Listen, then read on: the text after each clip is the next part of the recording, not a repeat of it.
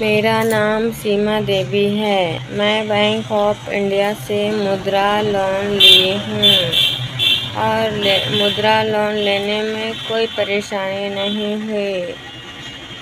Loan लेके मैं काफ़ी खुश हूँ और मैं बैंक ऑफ़ इंडिया को धन्यवाद करना चाहती हूँ।